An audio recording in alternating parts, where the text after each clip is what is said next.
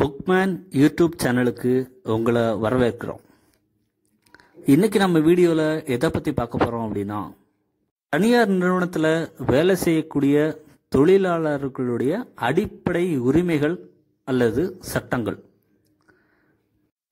நம்மளில் நிறைய பேர் தனியார் நிறுவனங்களில் தான் வேலை செஞ்சிட்ருக்கோம். அப்படி இருக்கும்போது அந்த தனியார் நிறுவனங்களில் நம்மளுக்கு இருக்கக்கூடிய சில அடிப்படை உரிமைகளையும் சட்டங்களையும் பற்றி தெரிஞ்சுக்கிறது ரொம்ப நல்ல விஷயம்தான். இப்போ நம்ம பார்க்க போகிற முதல் விஷயம் சம்பளம் அதாவது சேலரி ஒரு தொழிலாளர் தன்னுடைய ஊதியத்துக்காக தான் வேலை செய்கிறார்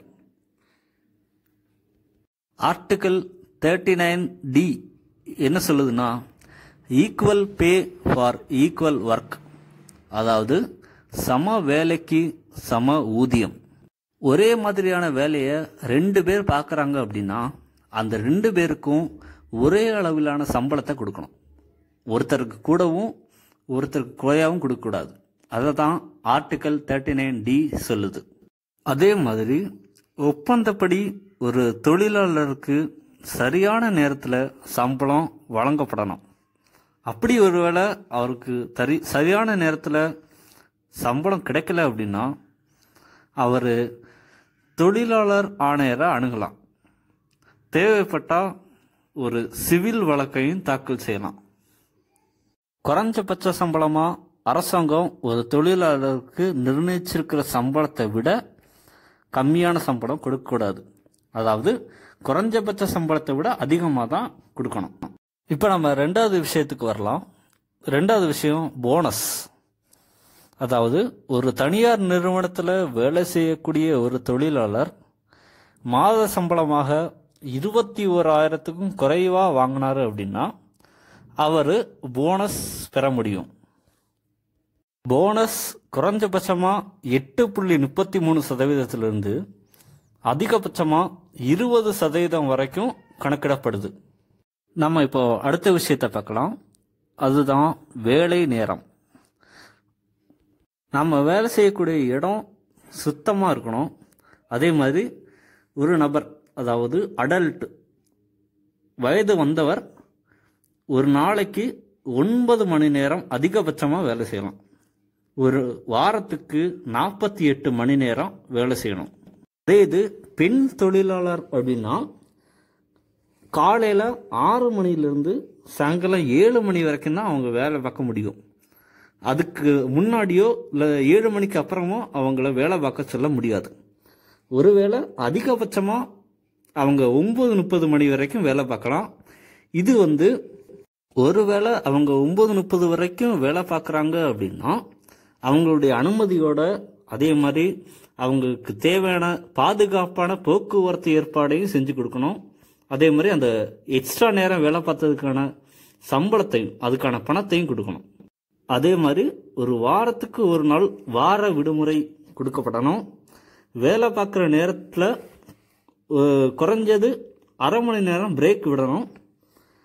அதே மாதிரி என்னதான் அவங்க ஓட்டி பார்த்தாலும் ஒரு நாளைக்கு பனிரெண்டு மணி நேரத்துக்கும் அதிகமாக அவங்கள வேலை வாங்கக்கூடாது.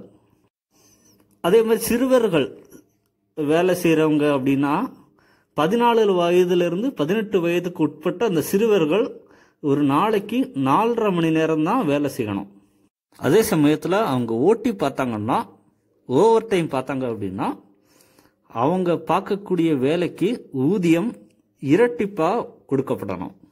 இப்போ நம்ம அடுத்த விஷயத்துக்கு வரலாம். நாலாவது விஷயம் விடுப்பு இல்லைன்னா விடுமுறை. தொழிலாளர்களுக்கு சம்பளத்தோடு கூடிய பொது விடுமுறை அளிக்கப்பட வேண்டும். அதாவது பொது விடுமுறையில் அவங்களுக்கு சம்பளத்தோட கூடிய லீவு. விடுப்பு அப்படின்னு சொல்லும்போது ரெண்டு மூணு விதமான விடுப்பு இருக்குது அதாவது casual leave sick leave privilege leave ஏதாவது உடம்பு சரியில்லாதனால எடுக்கக்கூடிய விடுமுறை இல்லைன்னா ஏதாவது சலுகையினால் நம்மளுக்கு கிடைக்கக்கூடிய விடுமுறை. ஒரு இருநூத்தி நாற்பது வேலை நாட்களில் ஒரு தொழிலாளி பனிரெண்டு நாள் ஆண்டு விடுமுறை எடுத்துக்கொள்ளலாம். இரநூத்தி நாற்பதுக்கு பன்னிரெண்டு நாள். ஒரு அடல்ட்டு அதாவது வயது வந்த தொழிலாளி இருபது நாளைக்கு ஒரு முறை ஏன் லீவ் எடுத்துக்கலாம்? அதே இது சைல்டு பதினாலு வயது முதல் இ- பதினெட்டு வயதுக்கு உட்பட்ட ஒரு தொழிலாளி பதினஞ்சு நாளைக்கு ஒரு முறை ஏன் லீவ் எடுத்துக்கலாம்? நோட்டீஸ் பீரியடில் இருக்கக்கூடிய ஒரு தொழிலாளி அதாவது அறிவிப்பு காலத்தில் இருக்கக்கூடிய ஒரு தொழிலாளி அவசர தேவைகளுக்காக அவர் விடுப்பு எடுத்துக்கலாம்.